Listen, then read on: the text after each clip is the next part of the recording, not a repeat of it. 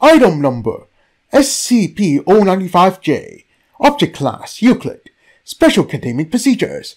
All Foundation material found to be corrupted with SCP-095-J is to be delivered by blindfolded agents of Mobile Task Force Role 15, Akzidenz Grotesk, to Lab 44 for automatic OCR transcription and incineration. A sample of the complete character set of SCP-095-J is to be kept on file on a solid-state hard drive in a Faraday cage shielded bunker located 50 meters beneath Site Beep, located in Beep, Washington. No access is to be allowed to SCP-095-J without permission of two Level 3 Foundation graphics designers. Description SCP-095-J is a typeface initially developed by the Beep Corporation.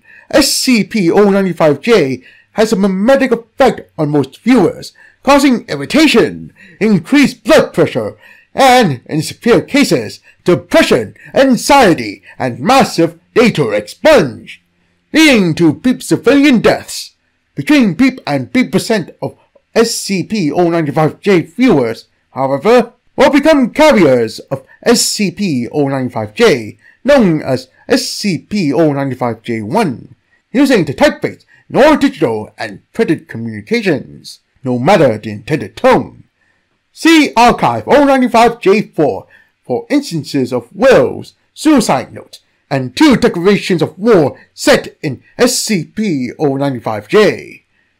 Evidence of an SCP-095-J containment breach event starts with innocuous usages of the typeface in appropriate locations for its handwritten style, such as party invitations, children's advertisement, and illustration lettering. Instances of SCP-095-J1 in severe cases have known to grow unable to perceive text not set in SCP-095-J, potential for a CK-class restructuring scenario in the event of a containment breach is currently considered by research staff. Upgrade to Keter pending. Addendum. I don't get it, you guys. It's just a font. Dr. Beep. Requesting authorization for immediate termination of Dr. Beep. Director Beep. Granted. All 05 Beep.